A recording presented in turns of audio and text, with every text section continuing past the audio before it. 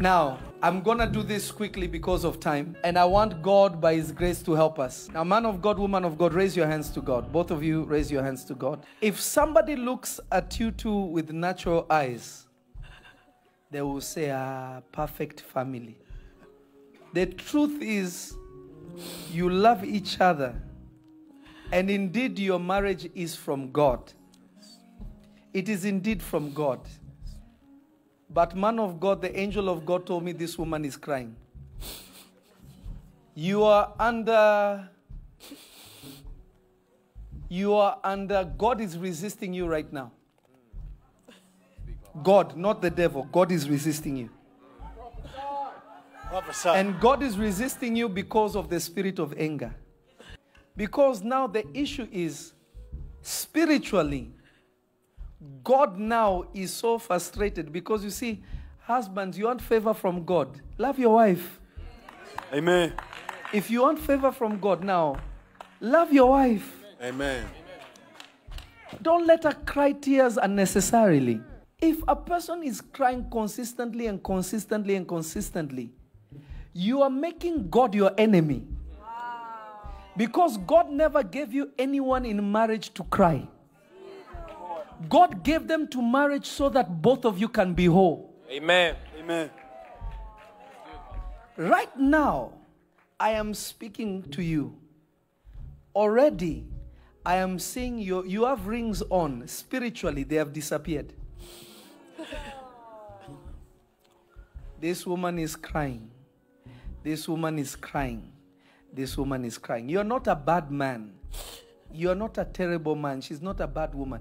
But this desire, listen, guys, I rather be, be wrong and save my relationship than be right and lose it. Amen. Listen to me. Jesus chose to be wrong. He chose to be sin to save us. He did not choose to be right. He was okay being called sin so that he can save his relationship with us. Right now, man of God, the desire to be right, the desire to be right, the desire to control, the desire for this is being so painful to this woman. The angel of the Lord told me for the past four years, this thing has just gotten worse, worse, worse, worse, worse, worse, worse until now. God has a tremendous plan for you. God wants to bless you. Who worked like a teacher? I teach. Prophesy. God wants to bless you. Amen. God wants to bless you. God wants to increase you. Because I heard the angel of God, he said this in French. He said, Professeur. That's what he said to me. So I was like, okay, who is the teacher? So hear me and hear me well. Do you want to be blessed? Yes. Do you want to increase? Yes. Do you want to be expanded? Yes, I do. You and your three girls, two boys, do you want to be increased and magnified by God? We want to be. Please love this woman. Amen. Amen. Stop making her cry. Amen. Don't make this woman cry. Now, now, me being an African man, I'm very African. Don't be fooled by how I look. I'm a hundred percent African. But I'll tell you something. God had to reform me. We are very authoritative, but we could be controlling. We can desire to just be right, right, right, correct, correct, correct. It is bad. God did not take a woman from your backbone so she can be behind you. He took her from your ribs so she can stand beside you. Amen. Amen. In the eyes of God, you are equal.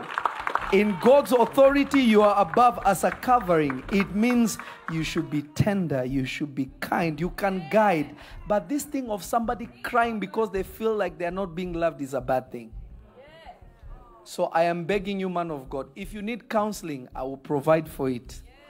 Because your problem is not a demon. I can't rebuke what God is telling me. I have resisted him. My daughter is crying. I have resisted him. I can't rebuke what is not Satan.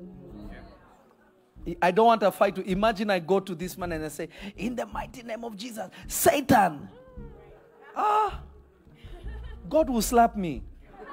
The angel of the Lord will roll his eyes at me.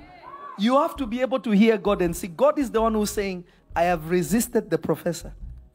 I have resisted him. I want to bless him. I want to open doors for him. But my daughter is crying. He needs to fix it. Man of God, hold your wife in high esteem. Man of God, love your wife. Don't stop dating her. Take her out. Take her shopping. Do nice things for her. Amen. When she's happy and she says, Father, bless this sweet, amazing husband, God is excited because you are being like Jesus to the church. Amen. God will glorify you. But if you don't do that, ah, you have a problem with God. So, man of God, I want you to hold your wife's hands, two hands. Mama, look at your husband. And I want you to say this from your heart, man of God, because I want you to be blessed. You should have had millions of dollars now. You are dry because you are not understanding God's protocol. You are not a bad man. You just are too African sometimes. I'm saying this, this is from an African man to an African man. I'm just being honest. Even you, eh, you need deliverance, we'll pray for you. Look at your wife, say, My dear wife, My dear wife, I am sorry. I'm sorry. I will love you better I will love you better and I will do better. and I will do better. I will hear you. I will hear you. I will not allow argument I will not allow arguments or disagreement or disagreements to cause us to fight. to cause us to fight. These are little things. These are little things. We have gone through too much We've gone through too much and we are going very far and we're going very far to allow things to fight us. to allow things to fight us. I want God to bless our home. I want God to bless our home. I want Jesus to be the center of our home. I want Jesus to be the center of our home. I want to love you I want to love you without any blame. without any blame. When you are wrong, I will love you more. When you're wrong, I will love you more. And when I'm wrong, love me more. When I am wrong, love me more. Because love is meant Because love is meant to cover mistakes. to cover mistakes. So, my wife, I will do better. So, my wife, I will do better. I will love you. I will love you. I will date you. I will date you. Please forgive me Please forgive me for the sake of our marriage. for the sake of our marriage. I mean this from the bottom of my heart. I mean this from the bottom of my heart. Today, the Lord will give me strength Today, the Lord will give me strength to do right by you. to do right by you. Do you forgive me? Do you forgive me? Put the microphone on, Mama. I do. You? I, I do. You do with all your heart. Amen. Hallelujah. Now, now, woman of God, hear me. People adjust, and adjustment takes time. The will and to recognize it is the most important thing. So, as my uncle here is working and you are adjusting, be patient with him. No fishing, no going to the past and bringing up what you used to do. We don't need that. People who are moving forward don't look back. Amen. You hear me well? Yes. Forgive everything. Let go of it. Where you're going is better than these small things. Amen. Is it okay? Amen. Pastor, Okay. Thank you. Lift lift your hands, both of you now. Let me pray for you. Look at me. Look at me.